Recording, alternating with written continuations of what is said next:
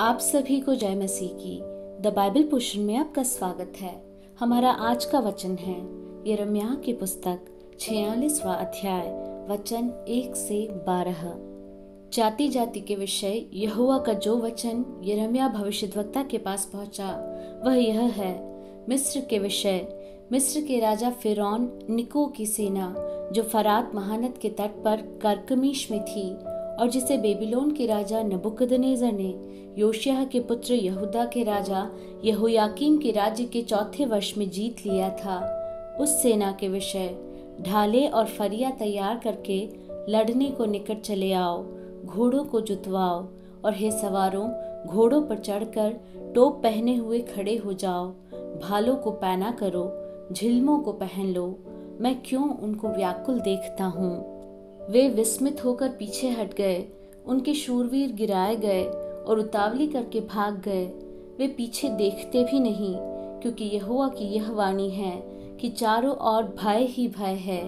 न वेग चलने वाला भागने पाएगा और न वीर बचने पाएगा, क्योंकि उत्तर दिशा में फरात महानद के तट पर वे सब ठोकर खाकर गिर पड़े।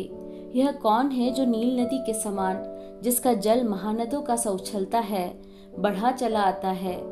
मिस्र नील नदी के समान बढ़ता है। उसका जल महानदों का सा उछलता है। वह कहता है, मैं चढ़कर पृथ्वी को भर दूँगा। मैं नगरों को उनके निवासियों समेत नष्ट कर दूँगा। हे मिस्री, सवारों, आगे बढ़ो। हे रथियों, बहुत ही वेग से चलाओ। हे ढाल पकड़ने वाले कुर्शी और पूती वीरों। हे धनुर्धारी लूदियो, चलो आओ। क्योंकि वह दिन सेनाओं की यहोवा, प्रभु के बदला लेने का दिन होगा। जिसमें वह अपने द्रोहियों से बदला लेगा।